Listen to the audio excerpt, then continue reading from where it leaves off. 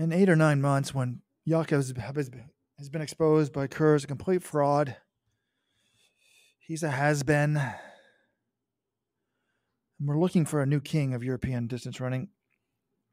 Or maybe we'll already have it. Who will that be? Sure, it could be Wightman or Kerr, Mario Garcia Romo. But we also thought it might be Let's Run podcast listener, the kid that grew up driving around Europe with his parents listening to this very podcast, Niels Laros. If you don't know Laros, we had him on the show earlier in the, in the year, I think. He's 18 years of age. He's running, I don't know if he's just running for a medal at Worlds. He might have been running for the win. Faded to 10th has a 331 25 1500 meter PB, 144 78 800 PB, 1323 in the 5000 monster talent. Anyways, he was in the European cross country under 20 race over the weekend. Had the lead coming into the home stretch. He had broken another teen phenom. So Vang Christensen, guy they've been talking about in the Let's Run forum for years, but it was Vang Christensen who kicked down the 1500 stud and wins it. I love this clip, John. I love this race. I was, since we hung out with Niels's parents in Budapest, since he is a fan of the show, I'm obviously a fan of his. But I, I thought it was great that Vang Christensen won this race he's he is 19. He's like nine months older than Laros, but it proved one of my points. Talent doesn't go away.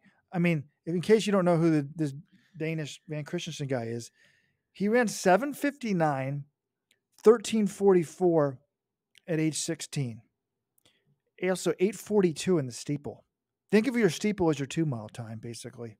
842 at 16. Then he ran 829 in the steeple at 17. But he had been kind of doing nothing all year. There was a post on Let's Run saying that he was like not even running this summer. He was burned out, injured. I don't know. No track races. The DNF in Houston was his only track race. He ran a road 10K on October 21st, and now he wins this race. So I'm just excited to see like him oh, come back from his struggles. Like it would have been a real shame if someone that talented just hung up the spikes.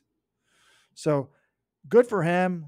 Laros sounds pissed that he lost. I'm sure he'll be back when you got the, that skill set. Doesn't I don't really care that he lost, but I'm excited for both these guys and, and can't wait to see what they do in 2023. If Vang Christensen doesn't have a contract, I don't understand why this guy doesn't come to America for college. Like, I think it's a great system. I mean, he'd be contending he'd be one of the top guys in the NCAA already. You beat Niels Laros in this race. You, I mean, Axel Vang Christensen's incredible. You also neglected to mention Robert. He won Euro the Euro under 20 title in cross country in 2021. So two years ago when he was 17, he won that race. That's pretty hard to do. He does it again, out kicking Laros. So he ran down a 144 331 guy at the end of this race. And it wasn't a long race. The winning time was just over 16 minutes. I don't know exactly what distance it was. Doesn't really matter. The course was also very muddy. But I love this event. I love Eurocross. The some of the images from the start of this race were amazing. They had like cannons and stuff with orange paint or whatever, uh, orange smoke. It looked just epic. The start of the race. You had that whatever the structure is with all the bulls in Brussels that was in the background of some of the images. And you get some big talents showing up and running this thing. Jakob would show up every year when he was healthy and run it. And now you've got Laros. You know, he's run a good 5K, but more of a mid distance guy. He's running it. It's kind of the European equivalent of NCAA cross. And it's really fun. I've said last year when we, they had this event, I wish that the US had something similar where pretty much all the best guys show up. And I'm kind of curious, you know, around this time of year and they get a hit out and we realize, hey, not everyone's in peak shape, but this is still a fun event. It kind of gets everyone talking. Yeah, I'd like to go. Yeah, Eurocross would be a fun event to cover one day. And I'm curious, looking at the calendar, World Athletics has now moved up the World Cross Country Championships for 2026 when the US hosts in Tallahassee.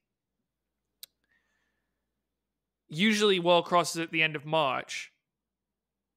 In 2026, it's going to be January 10th. Do you guys think that more Americans will show up